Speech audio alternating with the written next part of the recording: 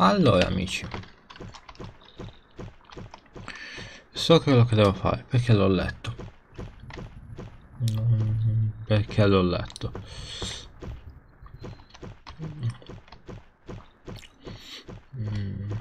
Perché non voglio bloccarmi. Quindi.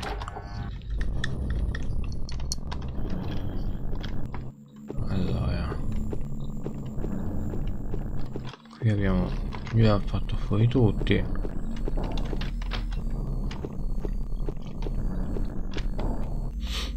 No era di qua se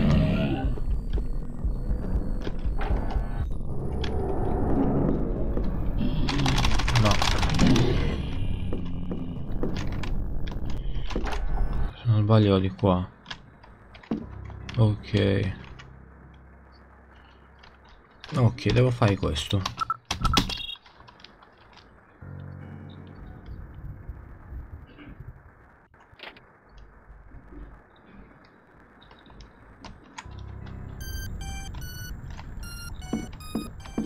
Ok. Andiamo a vedere che cosa è successo.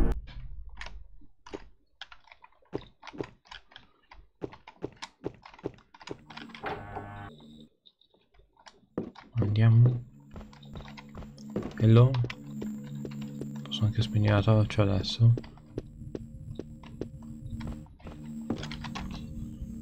Eh sì. Chiave dorata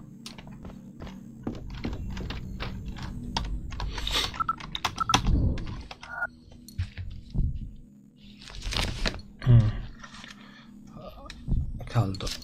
Ho caldo. Dov'è il telecomando Sto cercando il telecomando del condizionatore, ma non lo sto trovando.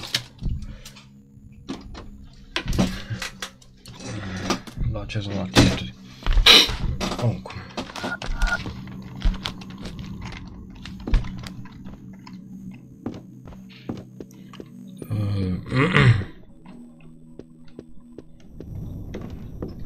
Allora, ho una chiave dorata io la provo con ogni porta chiusa che vedo.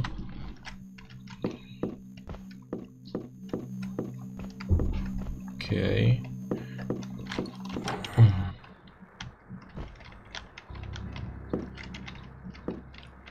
Noi siamo di nuovo qui.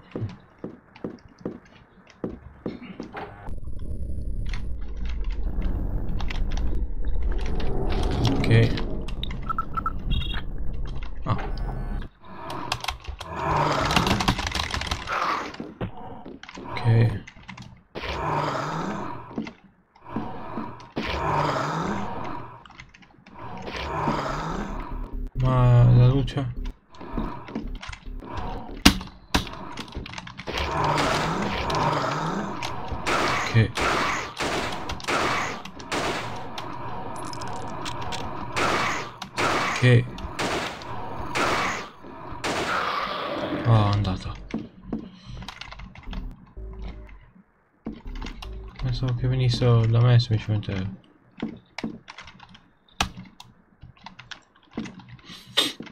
con dei problemi ecco.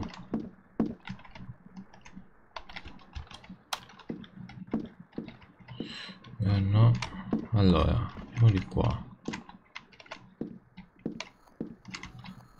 Un'arma indiana i Morton sono una vera passione per la cultura indiana. Beh mi spiace che cosa abbiamo una piccola chiave dorata. Ancora ok.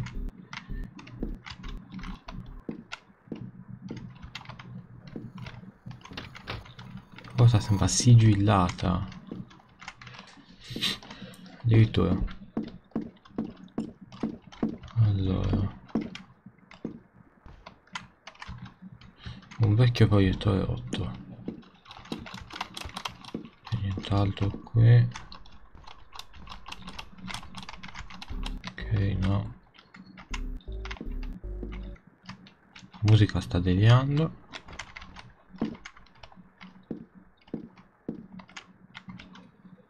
La statua di un gufo.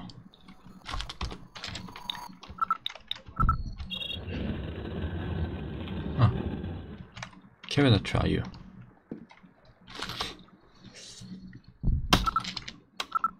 Li carichiamo. E eh, sto anche finendo le munizioni.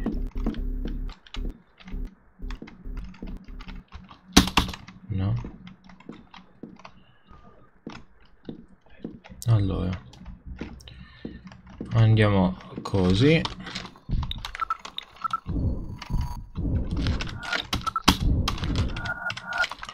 ok ho due chiavi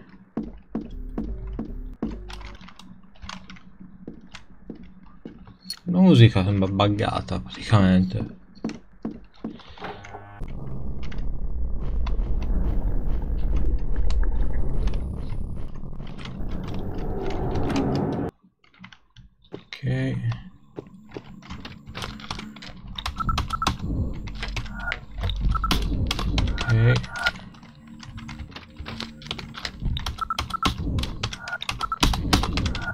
Andiamo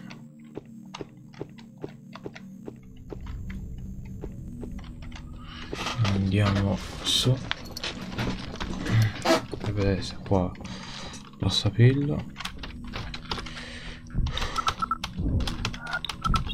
Ah qua posso. Aline Carby? Aline non riesco a capire il ruolo di Obed Morton in questa storia. Ho la sensazione che sia suo fratello ad avere tutte le risposte. Suo fratello? Alan il fratello gemello di Obed. Ecco allora. Sembra che Alan Morton sia, come dire, diabolico. Sì, questo è il termine più adatto. Ho scoperto che ha ucciso suo padre, Howard, e che lo ha utilizzato come cavia per i suoi esperimenti. È un mostro. Aline, mi stai nascondendo qualcosa. Credo, penso che Alan Morton, come una sorta di dottor Moreau, manipolazione genetica di... ma non sugli animali, bensì sulle creature delle tenebre. Ah, ciò potrebbe spiegare... Aline, dobbiamo fermarlo. Cardi, tutto questo mi disorienta. E io sarei un bugiardo se dicessi che ho il controllo della situazione. Coraggio.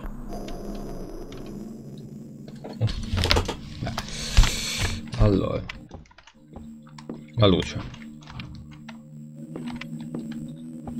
Beh, siamo in una nuova zona, quindi, quindi tagliamo il salvataggio.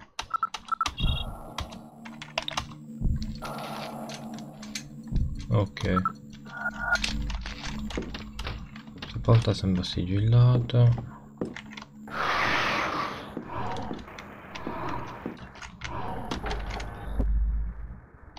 Ok.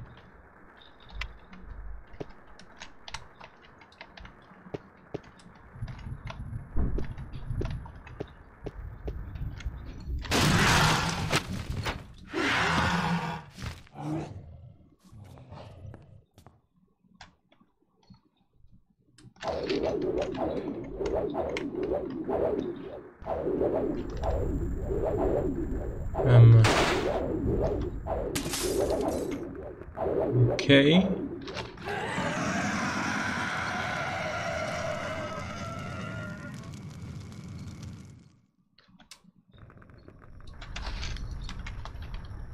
Grazie per questa scena meravigliosa.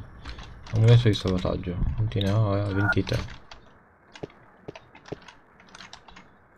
Pistola lanciarazzi.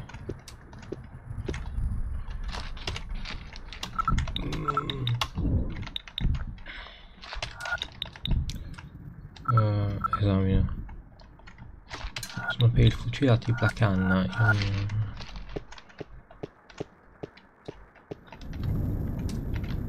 Io non ho niente del genere.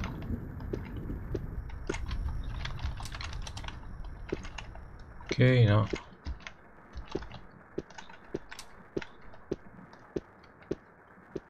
non sembra esserci nulla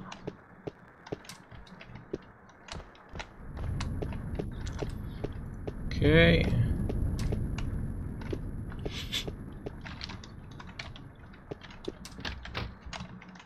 volta sembra sigillata una vecchia fotografia di una giovane coppia mano nella mano Come se nella storia della famiglia Morton fosse possibile trovare la felicità. Ma Dio mio, mi, mi... immagino di sì, Candy, non...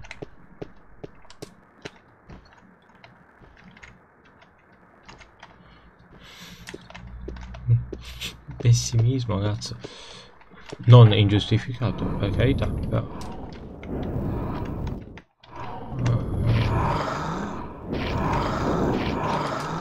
Devo aprire la porta. Oh cazzo.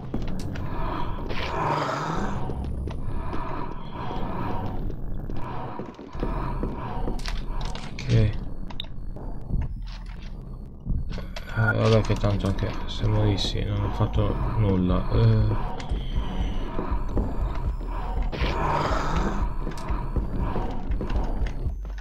Sbagliato. Sbagliato.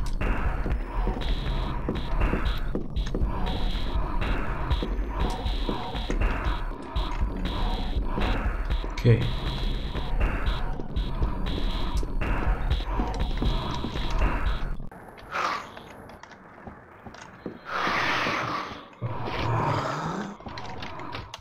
Oh cazzo ancora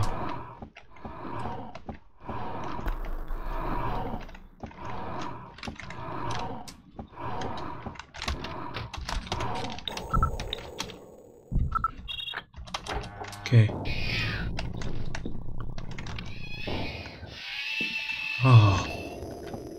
Allora, andiamoci con calma. Perché, l'altro, sto pure morendo. Mi tocca utilizzare il medikit.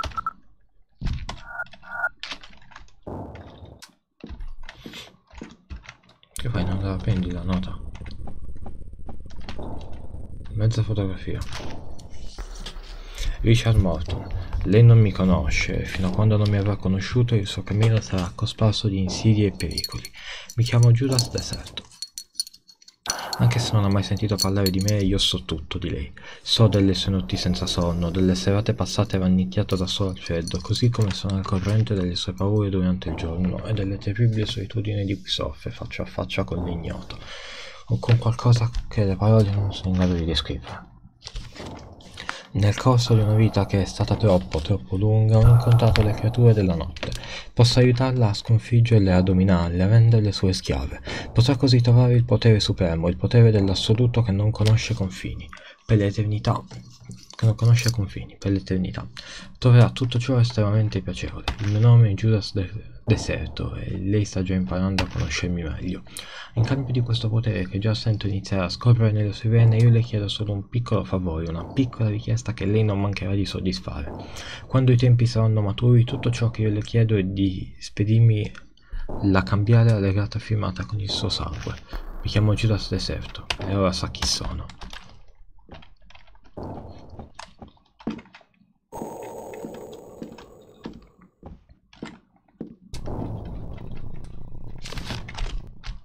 Ok. Grossa chiave lavorata.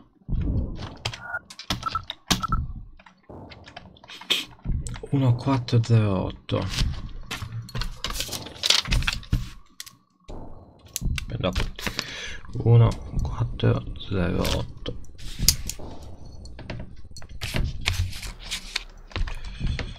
Ok. preso una scatola di cartucci di fosforo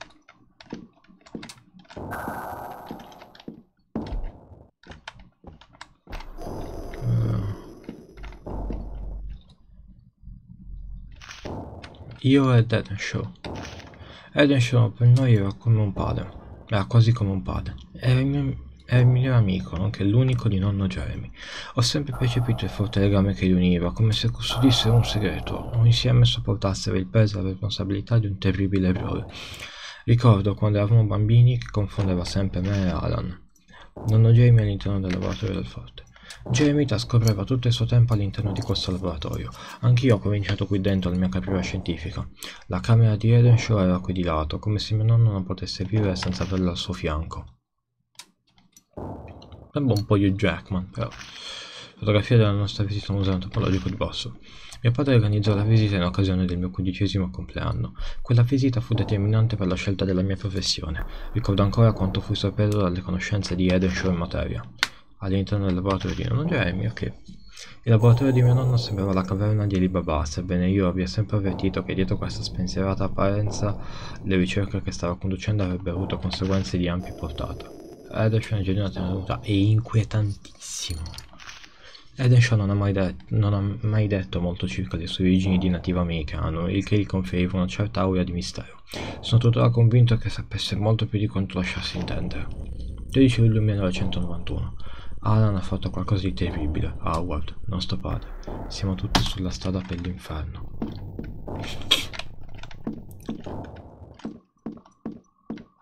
Bene, dai.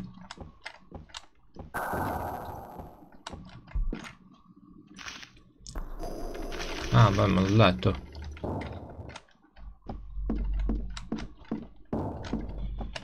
Ok.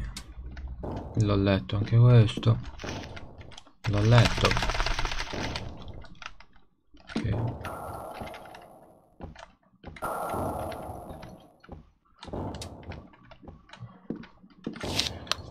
Dove serviva un codice a numeri?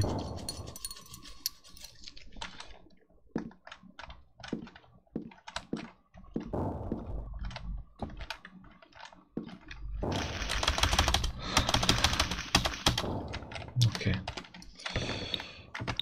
800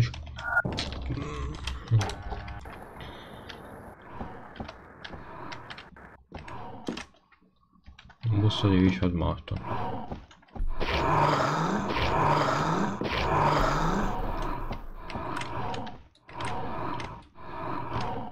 ok qui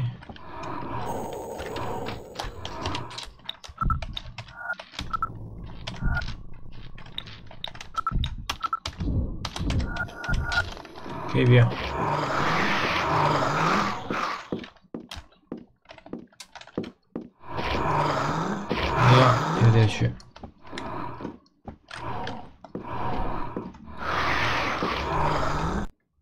No non poteva essere mai qui.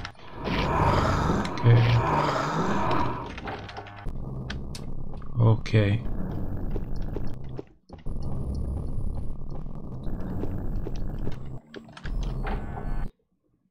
No, uh, qui su non c'è niente.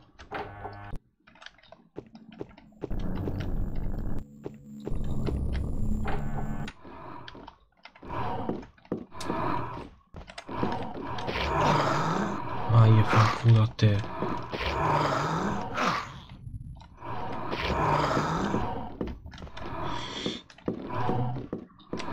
Vai.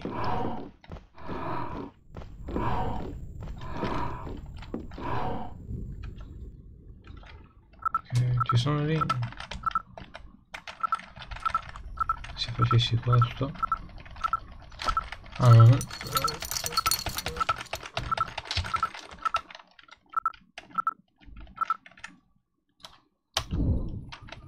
No ho sbagliato. Ok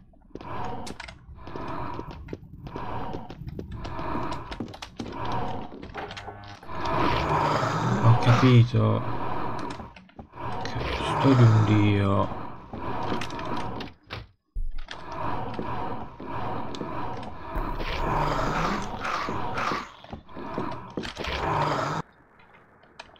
Quanti cazzo sono? Niente io sto morendo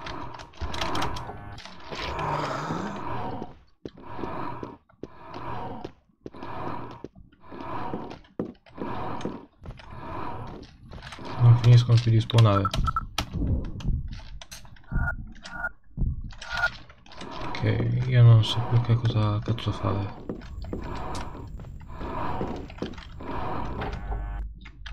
Perché non finiscono più di spawnare.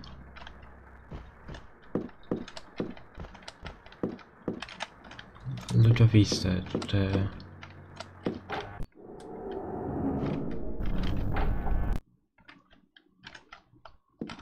ok.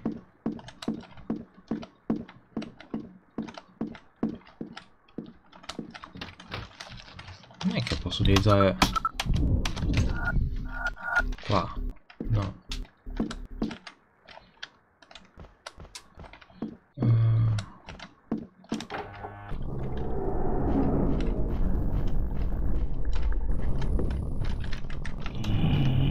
che fai no? ok ok no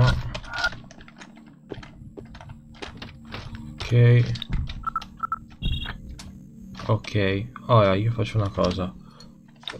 Salvo.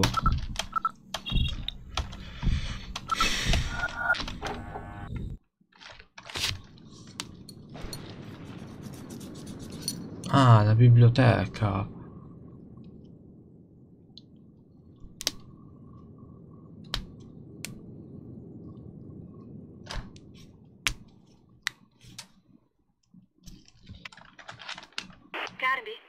Mi trovo in biblioteca.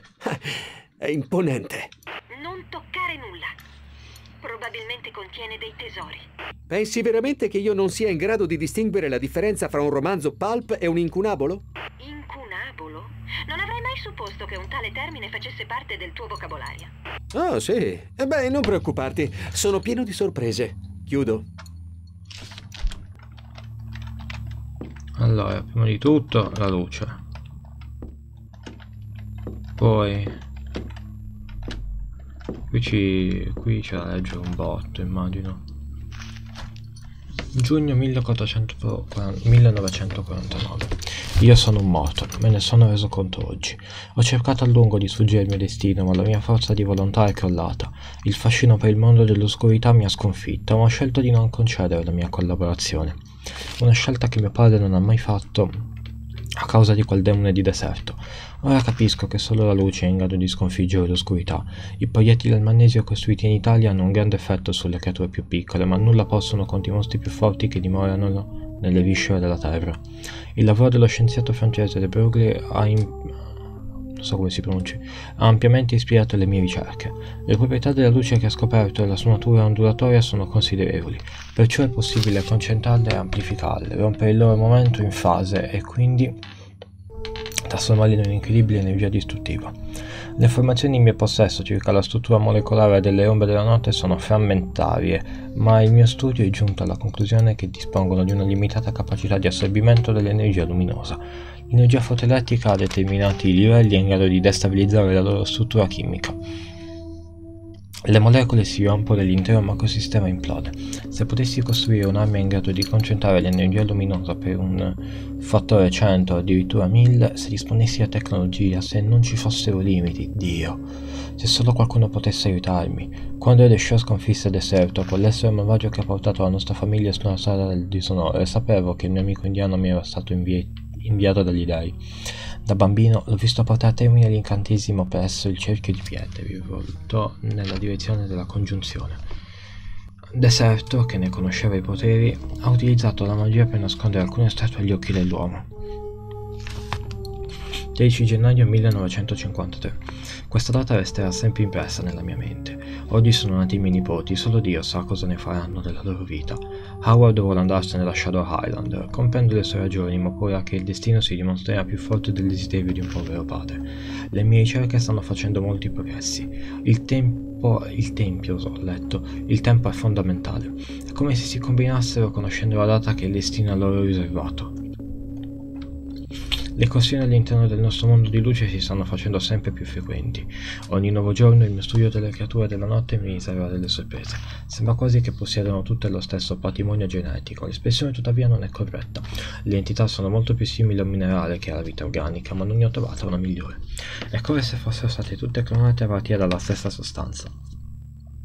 5, 5 dicembre 1969. Finalmente sono riuscito a potenziare l'intensità della risonanza del cristallo. Ora un solo problema ostacola il mio cammino. Ho provato la prima versione del pulsar fotoelettrico ed è letteralmente finito in mille pezzettini nelle mie mani. Beh. Che ben comincia. Interessando, ok. Ho paura di dover. Ho paura di dovermi attendere lunghi mesi di modifiche. Ho paura di dovermi attendere Aspettare? Ho paura di dovermi attendere lunghi mesi di modifiche e regolazioni. Alan continua a mostrare un considerevole intuito. La sua mente sembra perfettamente sincronizzata con le creature della notte. Addirittura sostiene che obbediscano i suoi comandi. Comunque, sono felice della piega che le sue ricerche stanno prendendo. Scusate. 31 maggio 1973. Le forze mi stanno abbandonando, il mio corpo è percorso da dolori acuti. Ho ancora così tante cose da fare. Ora so solo che Alan appartiene completamente a un altro mondo. Per la prima volta mi ha parlato del suo vero progetto. Vuole fondere la luce e l'oscurità in modo da ripristinare la loro unità originale e unificarle sconfiggendo la loro separazione. Penso che abbia a lungo atteso il momento in cui mi sarei indebolito e non avrei più potuto oppormi a lui. Dio solo sa cosa è in grado di fare. Per la prima volta nella mia vita l'alta sera ho pregato.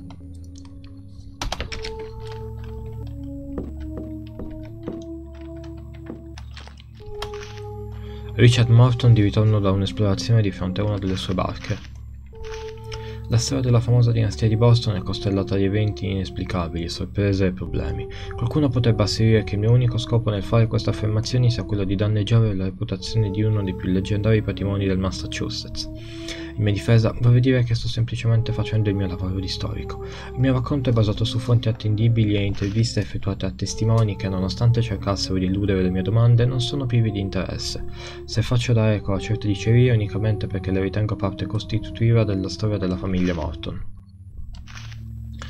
Il contratto per lo sfruttamento delle risorse naturali di Pueblo, Venezuela, firmato da un rappresentante del governo venezuelano e da Richard Morton. 50 pagine, ottimo. Preparati. Preparo la mia gola soprattutto. Le radici americane della famiglia Morton risalgono al tempo dei grandi mutamenti demografici avutisi nei decenni seguenti. Nei decenni seguenti la fondazione degli Stati Uniti d'America. Nonostante sia impossibile ricostruire la storia della famiglia precedentemente all'inizio del XIX secolo, sembra che, tragga, sembra che questa tragga le sue origini dalla piccola città di Whitechapel, nel Sussex inglese. Robert Morton fu colui che per primo si trasferì nel continente americano, dove nel 1823 costruì la prima fabbrica di carta sulle alture di Beacon Hill. Il successo della Morton Papers fu impressionante. Nonostante ciò, è Richard Morton, suo fratello maggiore, che si deve la fondazione del vero impero dei Morton, grazie alla creazione della Morton Oil Company avvenuta il 23 marzo 1889, quando lui aveva 37 anni, l'uomo nei ghiacci.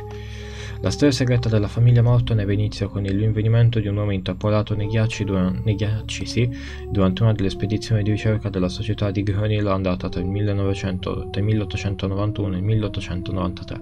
Richard Morton, influente figura pubblica, divenne sempre più riservato, finendo con lo smettere di frequentare i circoli della società di Boston per avventurarsi in audaci spedizioni che lo riportarono di tanto in tanto sul luogo della sua prima macabra scoperta. Deserto e sullo sfondo. In qualità di assistente di queste missioni, le quali talvolta finivano in, in, disastri umani e finanziari, vennero chiamati diversi mercenari e marinai svedesi e norvegesi, tra i quali una persona chiamata Deserto. Deserto era un uomo intrepido, un guerriero e un chiaro veggente interessato alla magia nera. Era un personaggio molto sospetto e sembrava avere grande influenza su Richard Morton. L'esatta causa di questo terribile incidente è ancora sconosciuta. Contro ogni aspettativa gli affari di famiglia continuavano a prosperare. La Morton Company si impadronì uno dopo l'altro di diversi mercati, Venezuela, Indonesia, il nord del nord. I suoi concorrenti nel frattempo furono colpiti da una serie sorprendente di sciagure. I loro negoziatori principali subirono incidenti, i loro direttori svilupparono seri problemi mentali. I loro avvocati crollarono improvvisamente, accentando di seriamente svantaggiosi. Nessuna attività di investigazione, pubblica o privata, comunque riuscì a portare all'incriminazione del gruppo di Morton. Si sapeva che il patrimonio di Morton era vasto, ma nessuno era in grado di quantificarlo. Gibson Samuel Gibson prese servizio presso Richard Morton il 20 giugno 1899. Questo brillante studente era estremamente abile nel decifrare i linguaggi antichi. Si scoprì che Morton l'aveva incaricato di eseguire la traduzione delle iscrizioni di una tavola trovata vicino al famoso uomo dei ghiacci. Fu Gibson a indirizzare Richard Morton verso Shadow Island. Vista dal mare di Shadow Island. Il forte che domina le fredde paludi dell'isola era stato abbandonato per una ventina di anni. I soldati che vi avevano prestato servizio erano stati colpiti da allucinazioni ed attacchi improvvisi di totale pazzia. Altri sparirono senza lasciare alcuna traccia. Dovrei raccontare anche di una strana leggenda che narra di come la cappella, situata, forte, situata nei pressi del forte, fosse stata durante il XVII secolo teatro di strani rituali, nel corso dei quali sarebbero anche avvenuti dei sacrifici umani. Immagino passare il Natale qui. Non fu difficile convincere lo Stato del Massachusetts a vendere l'isola a Richard Morton per una somma simbolica. Inizialmente sembrava che Richard Morrison volesse insediarsi all'interno del forte. Spese una fortuna e compì uno sforzo sovrumano per riuscire nel suo intento, ma in seguito dovette abbandonare l'idea. Decise quindi di costruire una strana villa nel lato meridionale dell'isola. La sua decisione di acquistare Shadow Island e di viverci era dovuta alla somiglianza fra le iscrizioni sulla tavoletta e quelle trovate nei passaggi sotterranei dell'isola. Lettera di Gibson alla sua fidanzata, datata 14 ottobre 1902. Man mano che il lavoro di traduzione delle iscrizioni procedeva, le relazioni tra Morton e Gibson si deterioravano. Lo studente assaporava il romanticismo del suo lavoro, mentre Morton sembrava divorato da una passione distruttiva. Inoltre, Gibson sembrava terrorizzato dalle proprie scoperte, tanto da confidare le sue preoccupazioni e la sua paura una lunga, in una lunga lettera alla sua giovane fidanzata rimasta sulla terraferma. Questo è stato l'ultimo suo messaggio. In seguito la madre ricevette questa breve comunicazione. Suo figlio è scomparso, il suo corpo non è stato trovato. Le mie condoglianze, firmato Richard Morton. Avviso di ricerca. Il piccolo alla il picco dell'allarmante e misteriosa attività di Richard Morton coincise con la scomparsa di alcuni giovani ragazzi dei sobborghi poveri di Boston. Questo è stato certamente l'episodio più inquietante di tutta la sua vita.